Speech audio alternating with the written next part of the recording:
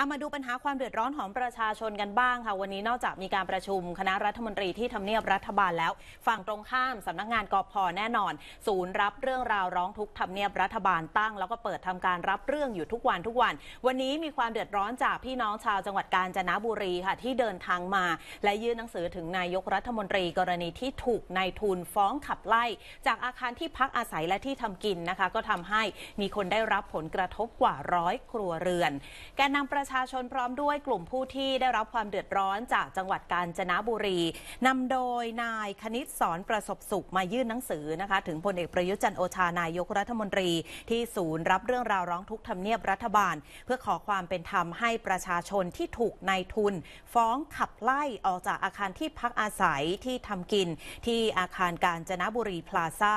ย่านสถานีรถไฟดอนรัก จังหวัดกาญจนบุรี